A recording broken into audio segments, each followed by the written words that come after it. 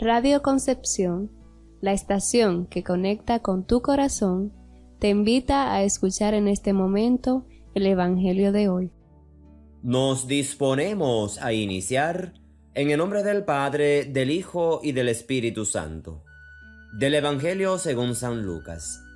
El mismo día de la resurrección, iban dos de los discípulos hacia un pueblo llamado Emaús, situado a unos 11 kilómetros de Jerusalén, y comentaban todo lo que había sucedido. Mientras conversaban y discutían, Jesús se les acercó y comenzó a caminar con ellos. Pero los ojos de los dos discípulos estaban velados y no los reconocieron. Él les preguntó, ¿De qué cosas vienen hablando tan llenos de tristeza? Uno de ellos, llamado Cleofás, les respondió, ¿Eres tú el único forastero que no sabe lo que ha sucedido estos días en Jerusalén? Él les preguntó, ¿qué cosa? Ellos le respondieron, lo de Jesús el Nazareno, que era un profeta poderoso en obras y palabras, ante Dios y ante el pueblo. ¿Cómo los sumos sacerdotes y nuestros jefes lo entregaron para que lo condenaran a muerte y lo crucificaron. Nosotros esperábamos que Él sería el libertador de Israel, y sin embargo, han pasado ya tres días desde que estas cosas sucedieron. Es cierto que algunas mujeres de nuestro grupo nos han desconcertado, pues fueron de madrugada al sepulcro, no encontraron el cuerpo y llegaron contando que se les habían aparecido unos ángeles que les dijeron que estaba vivo.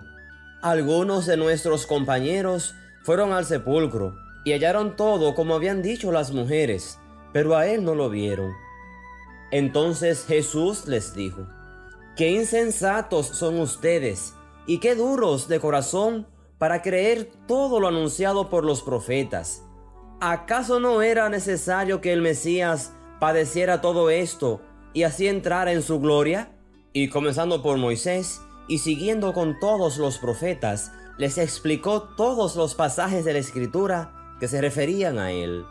Ya cerca del pueblo donde se dirigían, él hizo como que iba más lejos, pero ellos le insistieron diciendo, Quédate con nosotros, porque ya es tarde y pronto va a oscurecer. Y entró para quedarse con ellos. Cuando estaba a la mesa, tomó un pan pronunció la bendición, lo partió y se lo dio. Entonces se les abrieron los ojos y los reconocieron, pero él se les desapareció.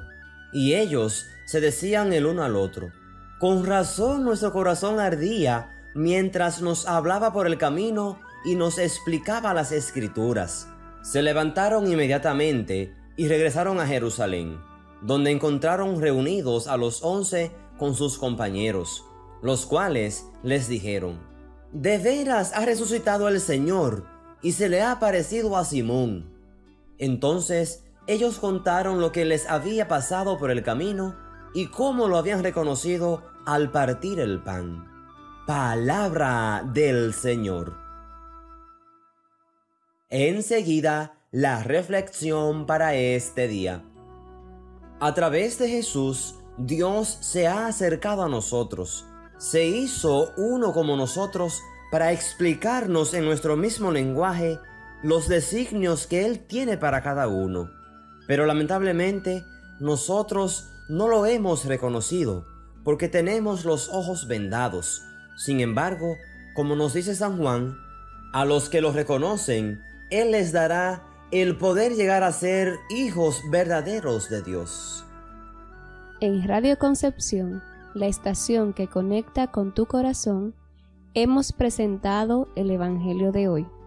Que todo lo bueno te siga, te encuentre, te abrace y se quede contigo, y el resto que pase de largo. Feliz día y que Dios te bendiga.